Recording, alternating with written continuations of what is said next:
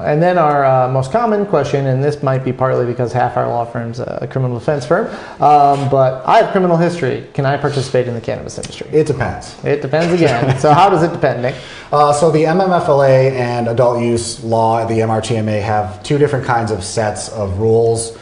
Um, for the medical side of things, there's a 10-year felony and then a five-year controlled substance, theft, dishonesty, or fraud misdemeanor uh, complete mandatory bar. So if you fall within those 10 or five year rules, you are automatically ineligible for a license. If you are an owner of the If you're an license, owner, so- or a manager, employee, or a corporate officer of the license, that, but you can still be an employee of the license. Correct. So yeah, it depends if you're an owner, if you're considered a applicant or supplemental applicant.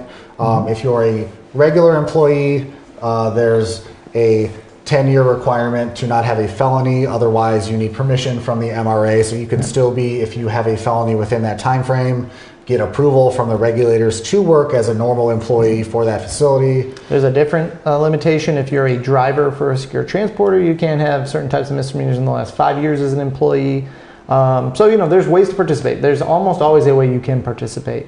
Um, unless your criminal history is relevant to providing alcohol, I'm sorry, alcohol, providing cannabis to minors, there's a, there's a prohibition on the adult use side for being an employee if you have a criminal charge for providing cannabis to minors. Um, And that, and that goes the same for, um, for on the adult use side, Mm-hmm. applicants who have a conviction, whether that be a felony or misdemeanor for distribution of controlled substances to a minor, that's a complete bar to being an owner or applicant or But other criminal Employee. history, uh, it can be relevant, so that's something we should touch on as well. Mm-hmm. There are, you know, statutory prohibitions that the state doesn't have any gray area about. Uh, but then there, you could have some criminal history that would be in the merit-based uh, bucket, where they can still deny you for any criminal history if it is a um, a sign that you might contribute to this company's inability to follow the rules and regs.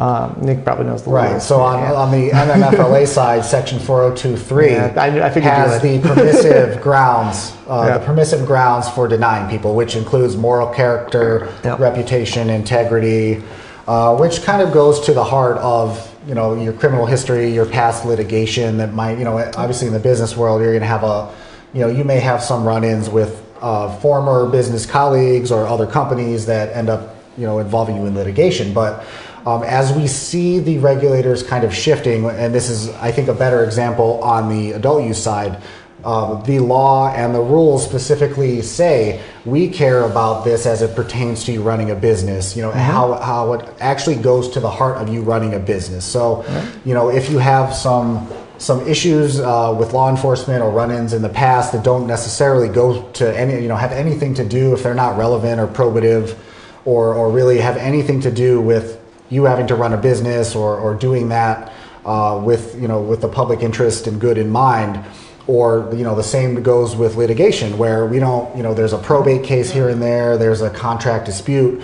They're not as potentially you know and the language doesn't kind of track with that where they may not be as concerned with that as they might be you know fair labor standards act violations or you know union disputes or things like that, failure to pay employees. That's really, you know, so as you can see, we're kind of shifting, or at least on the adult use side, because of how the law is worded, towards actually applying what, you know, some factors that might be critical to that to those decisions. Now, I think what a lot of people get confused about the criminal history question is this Am I prohibited from participating? Not always. Does that mean I don't have to talk about it? No, you will. If you're on these applications as a supplemental applicant, as an owner, as an officer, even in some cases as an employee, you, you oftentimes have to disclose your criminal history, whether it disqualifies you or not. Mm-hmm. So, you know, don't just because you are allowed to be a supplemental applicant doesn't mean you get to pretend you don't have criminal history. And, and sometimes if you fail to disclose that criminal history, you'll get denied. If you had disclosed it correctly, you would not have been.